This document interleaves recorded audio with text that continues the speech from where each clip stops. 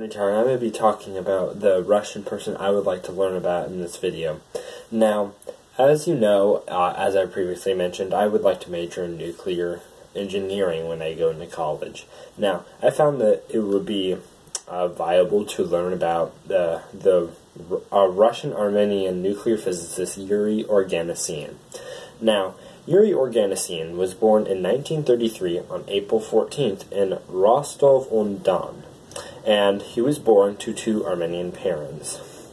He uh, grew up uh, during uh, World War II. His father was a thermal engineer, uh, which helped develop his uh, career path of becoming a nuclear physicist.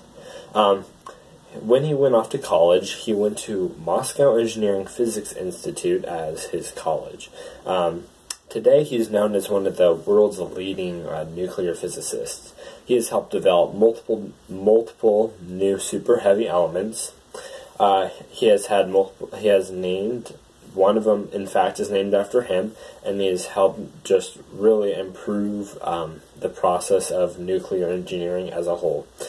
Um, he worked with one of his partners, uh, Georgy Flerov, who worked with him at the Joint Institute for Nuclear Research.